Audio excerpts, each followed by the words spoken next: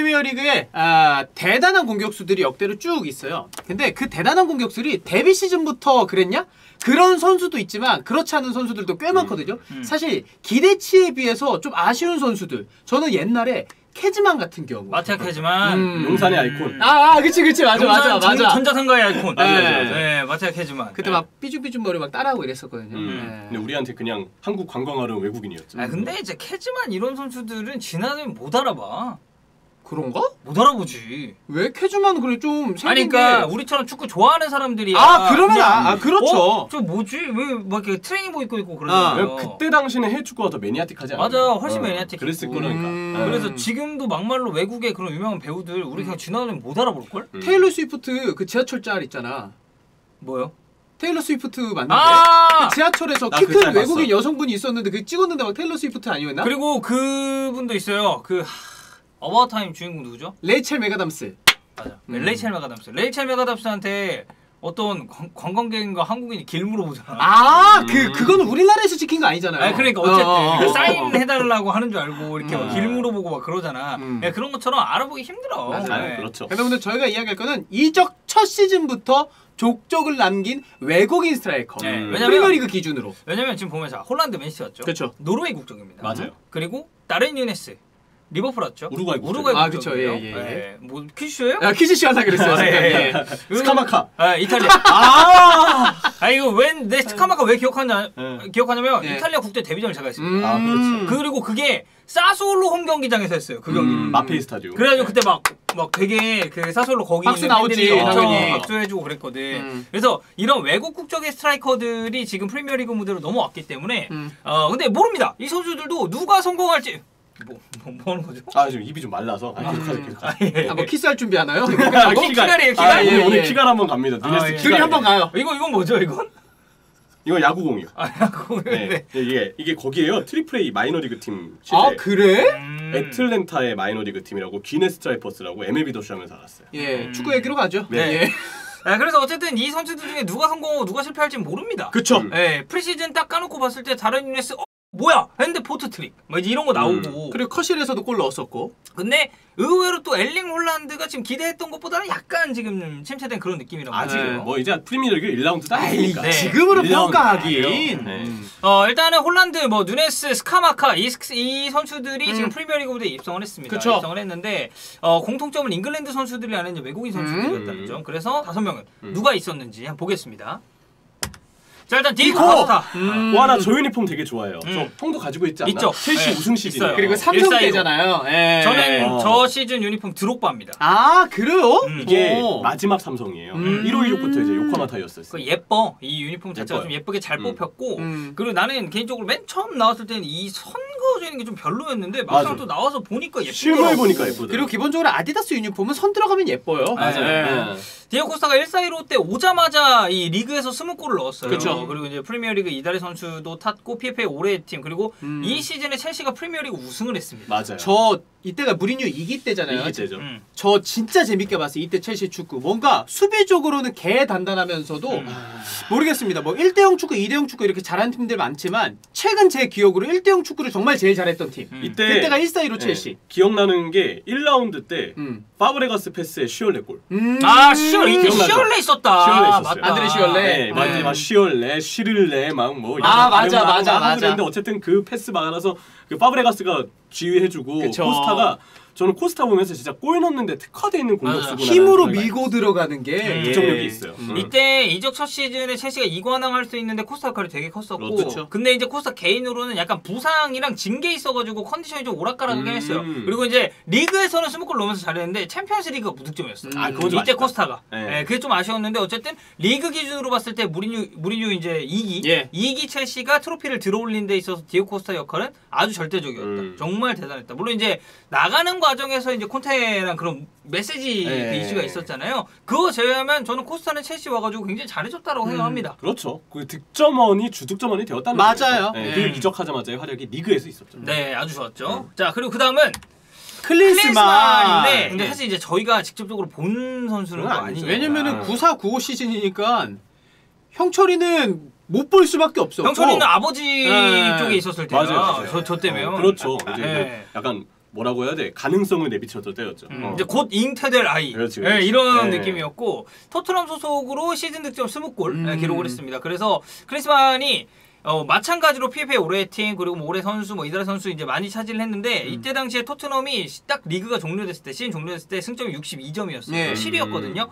이때 당시 프리미어리그 출범 이후에 토트넘 팀에서는 최고 아 승점이었어요. 그래요. 네. 오. 그래서 모든 대회 통틀어서는 트랜스퍼마켓 기준으로는 클린스만이 29골을 넣었더라고요. 음. 그러니까 30골에 육박하는. 그리고 이건 있어요. 우리가 메날두 시대를 너무 오래 보다 보니까 시즌 30골? 뭐 공격수면 뭐 top class면 그 정도 해야지 득점왕 하지라는 느낌이잖아 근데 원래. 이 시절에 공식전 다 해가지고 30골이면 존나 쩌는 공격수입니다. 그럼요. 두 경기 다 한 골이면은 당시에는 최고의 공격수. 음. 세 경기에 한 골도 나쁘지 않은 수치. 그리고 막상 보면 리그 20골 넘기는 것도 쉽지 않아요. 음. 맞아요. 맞아요. 네. 득점왕 보잖아요. 18골, 19골 넣고 득점왕 되는 경우들이 은근히 있습니다. 네. 응. 그래서 이때 당시에 클린스만의 임팩트 뭐 저희가 직접 보지는 못했습니다만 정말 뭐 대단했다라고 음. 볼 수가 있겠고. 어, 아뭐 아베로.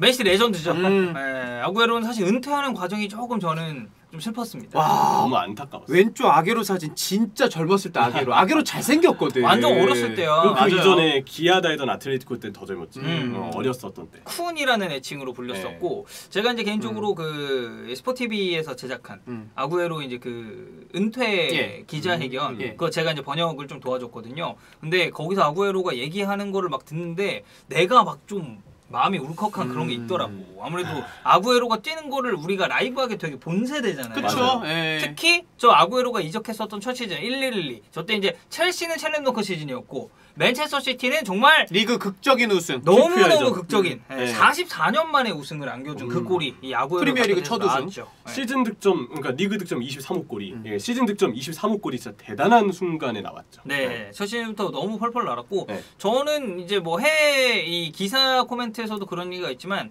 근 10년간 프리미어리그 최고의 스트라이커가 아닌가. 음. 왜냐면- 뭐 다른 분 뽑는 분들도 있겠습니다만 아게로가 대체적으로 많지 않을까? 아, 왜냐면 프리미어리그 예. 외국인 관련 기록들을 다 갈아치웠어요. 그쵸, 맞아요. 그쵸. 어, 아구에로 선수가 그런 득점력을 지녔고 아구에로가 없었다면 맨시티의 2010년대 황금 시대도 없었을 아게로, 네. 다비드 실바. 네. 음. 어쨌든 그 두 선수가 주축이 돼서 지금 맨시티를 만들었다고 해도 과언이 아니니까. 맞아요. 그렇죠. 뭐 우리 음. 기존에 있어도 뭐 콤파니 같은 자원도 음. 마찬가지고. 그래서 아구에로도 정말 임팩트 자체 대단했었고요.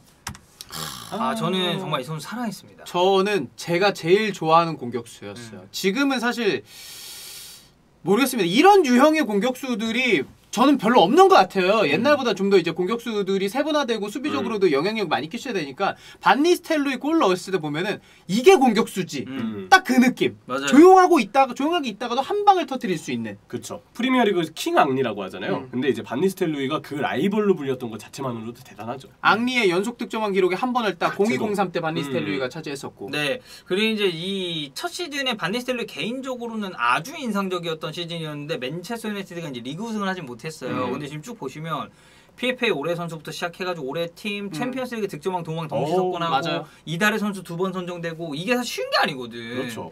저는 반니스텔로이 제가 이제 제일 좋아하는 스트라이커 두 명 꼽으라면 저는 반니랑 인자기거든요. 아 그래요? 음. 음. 근데 이제 반니도 되게 역동적인 스트라이커잖아요. 근데 또 반니의 장점이라고 할 수 있는 게 위치 선정. 음. 그리고 저는 first touch도 반니 엄청 좋았다고 항상 생각하기 때문에 갈등으로 살짝 띄워서 몸 돌리면서 쳤던 아. 슈팅들도 있었어요. 응. 발리 정말 잘 맞아, 쳤어요. 말달리자 골도 있었고. 네. 네, 저는 진짜 맨체스터 유나이티드 그러니까 박지성 선수 우리가 가면서 본격적으로 맨유 경기를 많이 음. 보셨잖아요. 저도 이제 그런 케이스인데 음. 저는 그 당시에 가장 좋아했었던 스트라이커가 반니스입니다. 저는 그래서 유로 2008 때 음. 저는 그때까지 네덜란드 대표팀을 진짜 좋아했거든요. 음. 그래서 네덜란드 막 그때 응원하고 막 그랬어. 그때 러시아랑 8강 했었는데 겁나 두드러 왔다가 반니가 동점골 넣어가지고 연장 가고 막 그랬었거든요. 그 경기 때도 저는 되게 반니스텔로를 너무 좋아해서 응원했었던 음. 좀 그런 추억이 있습니다 개인적으로. 제 또래 신 분들은 반니스텔로 좋아하시는 분들 많을 거예요. 아마 최고의 그 당시에 스트라이커가 물론 반니스텔로 있었고 앙리도 있었고 호나우드도 있었고 셰브창크도 있었지만 아마 프리미어리그 주로 보신 분들은 앙리 반 반니스텔로 반 이 정도로 갈리지 않을까. 네, 예. 그만큼 반니는 좀. 매력적인 선수가. 아니었나. 그 요크 콜 다음에는 반니스텔루이가 그쵸. 있었죠. 맨유 예. 역사에서는. 그다음 이제 호날두로 음, 넘어가고. 맞아요. 그렇죠. 자 마지막입니다. 페토. 빨토. 음. 빨토는 오랜만이네. 말톤 전설이야. 0708에 왔었구나. 아, 그렇죠. 이때 이제 알레띠에서 넘어왔죠 네. 리버풀로. 저 유니폼이 이제 0608이에요. 그러니까 리버풀이 2년 썼거든요. 저 홈 음. 유니폼. 옛날에 그런 경우들이 맞아. 꽤 있었어. 0608 그다음에 0810. 그래 막 0305 이런 식으로 막 네. 유니폼 하던 때도 있었고. 칼스버그가 저 두 개가 참 그 아디다스 시절의 레전드였죠. 나는 아직도 리버풀은 칼스버그 때 유니폼이 제일 예쁘지 않았나. 음. 네. 그 다음에 이제 스탠다드 차타드로 지금의, 바뀌잖아요. 아, 어쨌든 토레스는 저 첫 골, 첼시전 첫 골. 음. 그 드리블을 통해서 그 음. 마지막 골도 비슷하게 나갔기 때문에 첼시 상대로 음. 뭔가 시작과 끝이 참 묘하게 음. 공통점을 가지고 있는 선수고 어쨌든 0708 시즌 이때 토레스는 그러니까 어떤 의미가 있냐면 리버풀이 그 이전에 공격수 기근이 심했어요. 음. 다 좋은데 미드필더 뭐 알론소, 제라드 뭐 그리고 0607 때 뭐 마스체라노 이런 음. 선수들 뭐 모하메드, 시소코 이런 선수들 수비 공헌도 되고 수비 미드필더 다 좋은데 이상하게 원톱이 없다. 최전방 디르크 선수도 카윗. 하고 음. 막 뭐 벨라미 공격 자원으로 음. 써보기도 하고 크라우치도 있었고 했는데 이상하게 원톱 공격수가 안 터졌어요.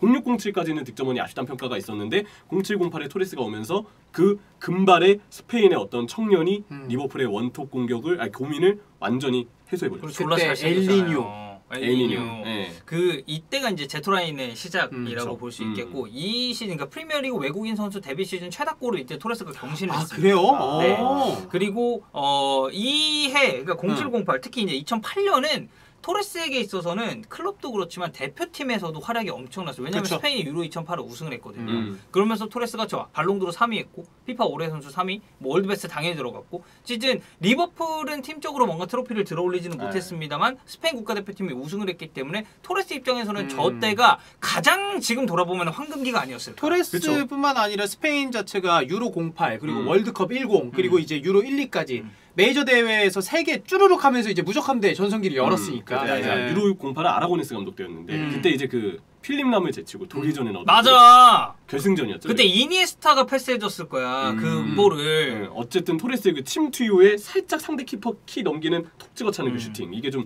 생각이 많이 나고 어쨌든 이제 이 토레스의 기록들은 그때도 꽤 대단했지만 문제는 아 문제가 아니죠 이후에 공격수는 아니지만 윙포워드인 선수가 리버풀에 와서 첫 시즌의 활약으로 토레스의 기록을 살라? 거의 다 갈아치웠어요. 그게 음, 살라예요. 살라 네. 그렇죠. 그래서 요즘은 이제 살라를 기록적으로 언급을 많이 하고 토레스의 기록은 상대적으로 많이 묻혀 있는데 음. 되게 iconic했죠. 네. 그때 리버풀에. 이때는 리버풀의 아이콘이었죠. 이때 빨토는 해외 축구 보던 사람들을 리버풀 팬으로 많이 유입을 했, 아, 아, 했어요. 이게 잘생겼는데 축구도 잘하고 빠르고 그렇죠. 진짜 간결한 그 마무리가 뭔가 음. 매력적으로 다가왔어요. 아까 반니스테는 역동적인 느낌이라고 했잖아요. 그 역시 0809 때의 토레스, 음. 제라드와 토레스 이때 절정이었기 때문에 예, 그때 그 공구 토레스가 그래서 나왔잖아요. 아니 토레스는 간지형도 알아요. 아 그래요? 그때 주책남도 같이 녹음하는데 토레스, 토레스는 FWG 그거- 이러더라고. 그거 는 쌍용 자동차 때문에 아시는 거 아니에요? 그럴 수도 있어요. 아. 네. 새로 나온 새로 자동차가 나온 토레스라고 토레스죠. 하더라고요. 예. 토레스는 FWG 하는 거 보면서 어 토레스 FW 포워드 아, 맞다. 맞다. 예, 네. 이 얘기를 했었던 게 좀 기억이 납니다. 음. 자 그래서 이렇게 어, 첫 시즌부터 활약한 스트라이커 다섯 명을 음. 예, 저희가 또 확인을 해봤는데 좀 진짜 그냥 대단한 스트라이커들이 아니었나? 다 좋아했어요. 클린스만은 이제 뭐 제가 묻지 못했지만 디에고 코스타, 아구에로, 반니스텔, 페르난도 토레스 다 좋아했어요 진짜. 맞아요. 예. 그리고 여기에 또 새로운 선수가 올 시즌 추가될 수 있다는 음. 거. 그게 네. 참 기대를 모으는 부분이죠. 그렇죠. 뭐 지금 저기 이제 보이듯이 이제 약간 과거와 현재의 공존이거든요. 음. 이 제작 자체가 아구에로와 토레스 그리고 홀란드와 누네스. 음. 왜냐면 팀이 그렇게 되네. 시- 이거 맨시티, 리버풀이야. 맞네. 네, 네. 그래서 어떻게 보면 진짜 임팩트 있었던 그런 공격. 이제 살라 같은 경우는 형철이가 얘기했지, 얘기했듯이 윙포잖아요. 그렇죠. 근데 이 공격, 스트라이커. 중앙 공격수. 네. 그러니까 다른 누네스도 사실 뭐 약간 윙포 성향도 있긴 한데 어쨌든 이제 스트라이커로 쓰려고 그럼요. 하는 선수고 네. 그래서 어, 이러한 세대 세대 교체라고 하긴 좀 그렇고 이제 자신의 좀 선배격인 공격수들의 뒤를 이 선수들이 과연 따라갈 수 있을 것이냐 음. 이 재미가 저는 올 시즌 프리미어리그 보는 가장 쏠쏠한 재미 중에 하나라고 생각합니다.